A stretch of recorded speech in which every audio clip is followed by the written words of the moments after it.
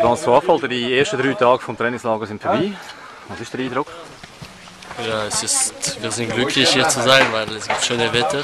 Ich bin in der Schweiz und ja, wir arbeiten echt für, für die Rückrunde. Bist du auch glücklich hier zu sein? Man hört, dass du zu GC wechseln wolltest und das hat jetzt schlussendlich nicht geklappt. Also du bist jetzt eigentlich fast im falschen Hotel, aber an der richtigen Küste hier in Spanien. Ja, ich glaube, es ist schade, es hat nicht geklappt, weil doch hätte ich viel mehr Spielpraxis gehabt. Aber ja, ich, wie ich habe schon früher gesagt, ich fühle mich glücklich bei IB und ich werde froh, für einen Stammplatz zu kämpfen. Es ist das definitiv. Du spielst die Rückrunde bei IB.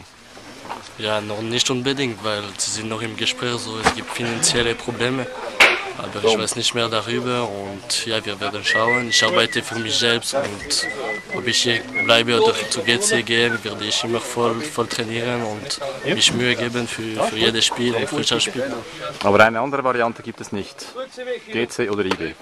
Ja, es gibt auch Anfragen von, von Ausland, aber ich habe noch nicht das Gefühl, dass ich will im Ausland gehen und ich will in der Schweiz bleiben.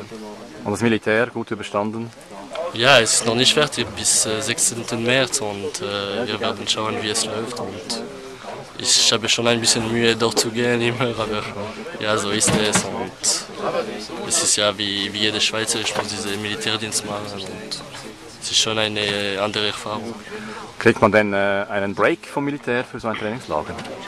Ja, ich habe eine ich habe gefragt, für, für in diese Trainingslager zu, zu gehen und schon vor dem Militär, sie haben gesagt, dass sie lassen uns gehen in Trainingslager.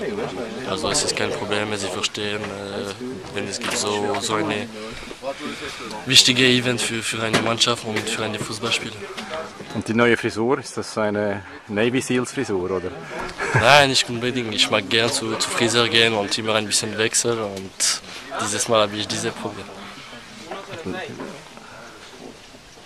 Keep going.